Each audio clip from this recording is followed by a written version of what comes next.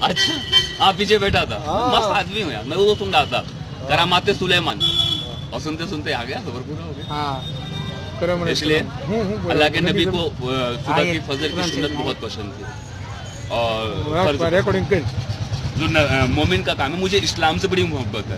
اور؟ مسلمان سے تھوڑی سی نفرت ہے۔ کہ مسلمان نہ ایمان کے طریقے میں ہے کار نبوت اور مزاج نبوت ہو تو مسلمان ہے وہ۔ واہ بھائی واہ۔ نبی غلام آقا کا ہے اور کام مشرکوں کا کر رہا ہے۔ ہاں ہاں؟ ہاں ہاں۔ غلام آقا کا ہے؟ اور کام کاکا کا کر رہا ہے ابلیس کاکا کا۔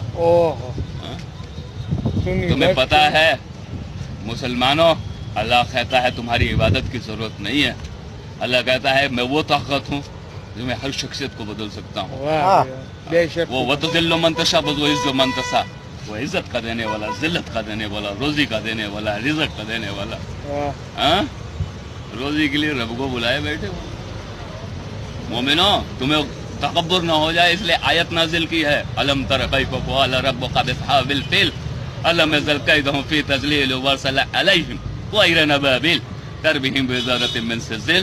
فزالہم قاسف ماحول اللہ کہتا ہے مومنو خود پہ تکبر نہ کرنا۔ نبی سب کو دیوا کو۔ ابابیل جیسے چڑیوں سے ہاتھیوں کے لشکر کو تباہ کر دیا۔ اللہ نے۔ کیا وجود ہے تمہارا؟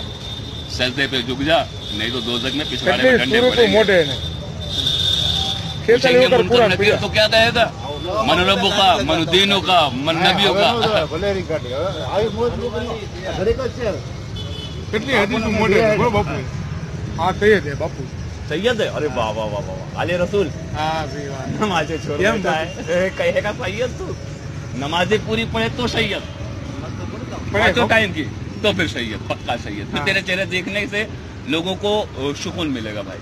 ہمارا باپو ہے باپو۔ ہاں؟, ہاں نہیں شہید تو باپو ہے نا۔ علیہ رسول ہے۔ آقا کی آل میں سے ہے تو باپو نہیں ہوگا؟